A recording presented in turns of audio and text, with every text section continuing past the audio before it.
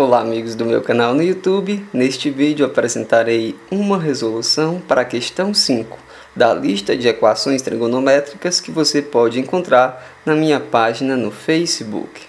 Dessa vez, a nossa equação é dada por secante de x igual a secante de 2π sobre 5. Então nós desejamos determinar todos os números que a gente possa colocar no lugar da letrinha x de maneira que essa igualdade seja verdadeira. Como a maioria das pessoas prefere trabalhar com as medidas em graus, vamos transformar 2π sobre 5 para graus. Ora, sabemos que 2π corresponde a 360 graus. Então, 2π sobre 5 corresponde a quanto em graus? Ora, é claro, a gente tem que dividir 360 por 5 e observar o resultado. Essa é uma continha que você faz sem dificuldade e encontra 72. Então, 2π sobre 5 corresponde em graus a 72 graus. Então, nossa equação pode ser escrita como secante de x igual a secante de 72 graus.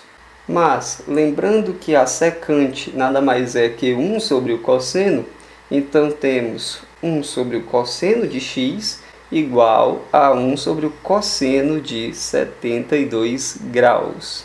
Professor, a gente pode multiplicar em cruz e igualar os resultados para simplificar? A gente pode e deve. Então a gente tem o cosseno de x vezes 1, que é igual ao cosseno de x. E isso é igual ao cosseno de 72 graus vezes 1, que é o mesmo cosseno de 72 graus. Então a equação que a gente obtém agora é cosseno de x igual a cosseno de 72 graus. E agora, professor?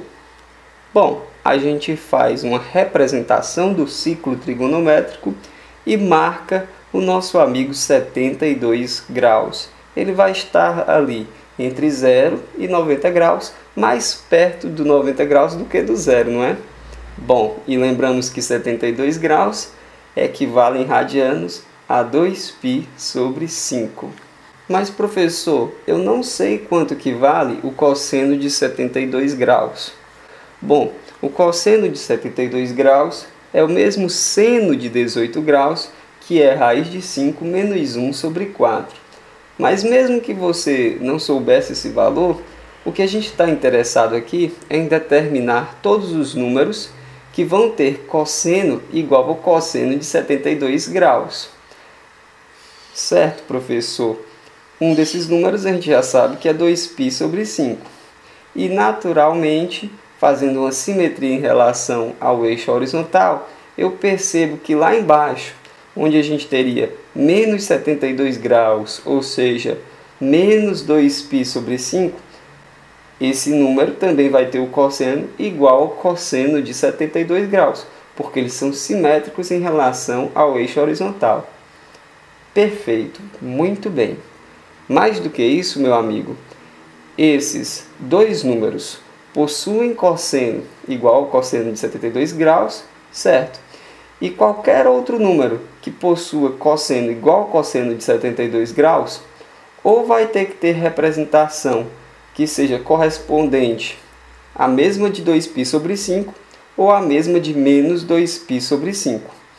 Então, na hora de escrever o conjunto solução, a gente simplifica e escreve que x deve ser real, tal que x seja igual a mais ou menos 2π sobre 5 e considera todos os arcos côngruos, escrevendo que a esse valor a gente ainda deve somar um múltiplo de 2π, a gente deve somar 2kπ, onde k representa um número inteiro.